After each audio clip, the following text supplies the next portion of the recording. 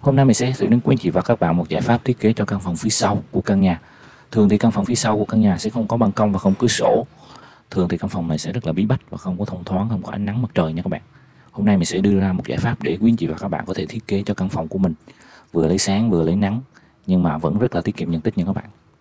Các bạn hãy để ý mặt phía sau thì chúng ta sẽ xây một phần ban công nhỏ thôi. Và đi ra ngoài ban công thì chúng ta sẽ xây bằng kính và cửa trượt nha các bạn đồng thời, phía dưới sàn thì quý anh chị và các bạn mình sẽ xây bằng sắt. Mình sẽ đan những tấm sắt nhỏ và đặt vào đây.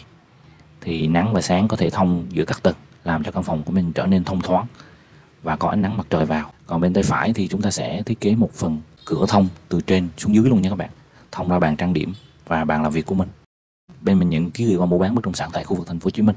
Ngoài ra bên mình còn nhận tư vấn thiết kế nhà tại khu vực thành phố Hồ Chí Minh nếu quý vị và các bạn nào quan tâm, xin vui lòng liên hệ số điện thoại của Nam 0901 240 289